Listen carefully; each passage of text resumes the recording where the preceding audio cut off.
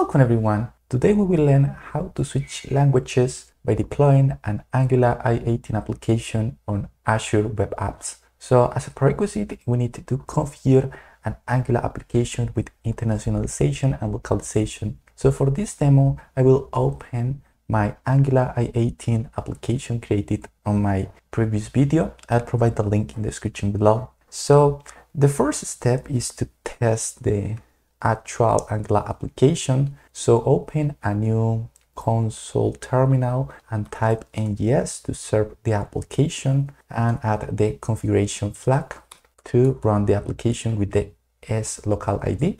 Go to the website. As you can see, all the translated texts are in Spanish. Close the website. Now the next step is to add the language switch in the HTML file. So go to the app component HTML, add a button to switch languages. We have two languages, the source local, which is en-US, and the local for Spanish, which is S. So in the button, let's add simple style, adding a background color and a font size. Go to the TypeScript file. We will change the language based on the added local ID. So add a constructor and add the inject decorator and pass the local ID token to get the added locale, which is a property, a string property. Add uppercase in the I and update or import from Angular core, the inject. We're taking the current local ID based on this field. So go to the HTML and add a simple if-else statement with the new Angular syntax add if if the locale is in yes the s text else add n yes for the button text.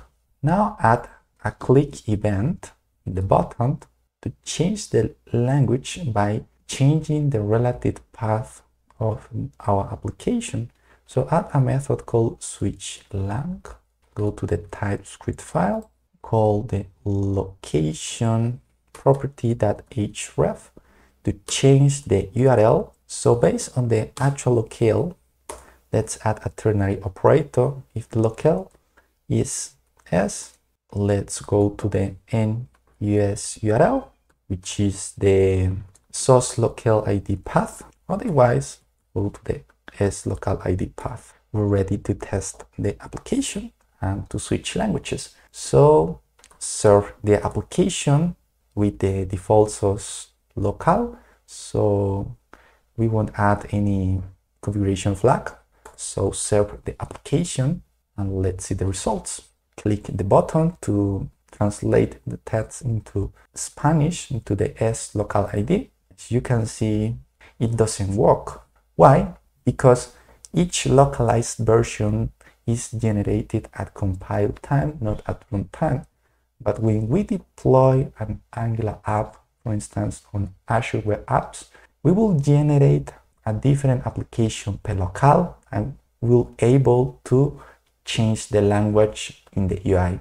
So go to Visual Studio Code and create a new Azure Web Apps. So I have an extension go to the extension sections called Azure App Service to create a new Azure App Service from Visual Studio and to deploy the Angular application into an Azure App Service. So you can install this extension, open the command palette and look for Azure App Service, create new web app with advanced configuration to set the operating system to Windows. Okay, so define a name to the web app so let me add a name for the application, select any resource group, a runtime stack, in this case, the latest version, now 20, select Windows, and select any Windows App Service plan. Skip application insights.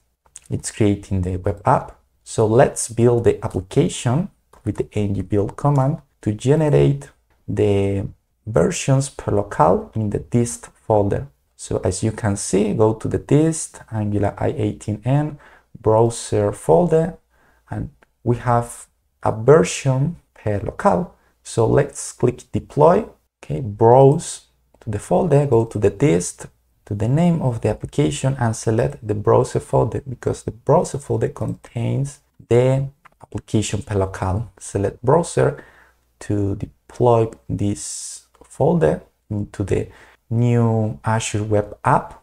So expand the source local ID and in the HTML you can see the href which is the local ID. Similarly for the slocal, okay, so it's different. The deployment is completed, so browse website and navigate to the in US URL, which is for our localized version using the source local ID. So we have our application with English translations, switch the language to Spanish, and as you can see, the URL is updated and we load the Spanish version, which is the S local ID. Click en-US again. As you can see, all the texts are translated to the added local ID. So in this demo, we learn how to switch languages by deploying an Angular i18n application on Azure Web Apps.